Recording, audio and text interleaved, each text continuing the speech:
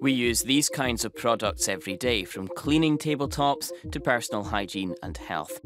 These brands are made by one company called Reckitt, and the industry to get them from factories to our homes is fast moving and comes with a big impact on the planet.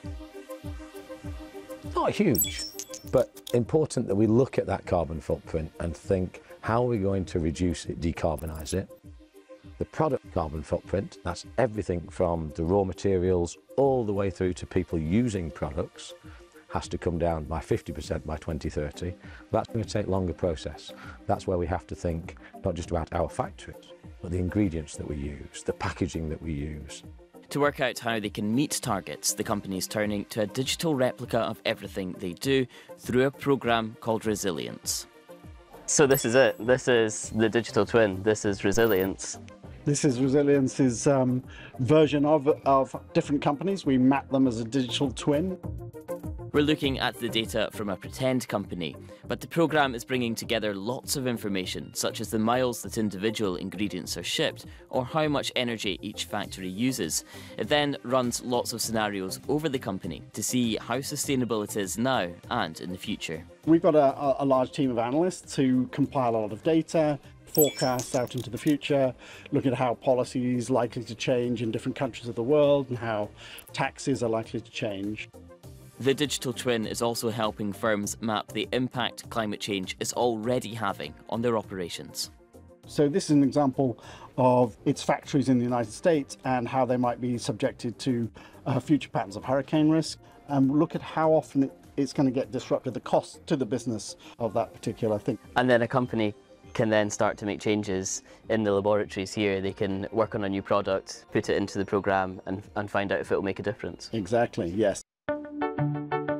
So that's where we're heading next, safety goggles on, as I've been given rare access to the room where the next big thing in cleaning could be on the verge of discovery, and where they're also adjusting existing product lines. We changed one of the ingredients, so it now uses lactic acid.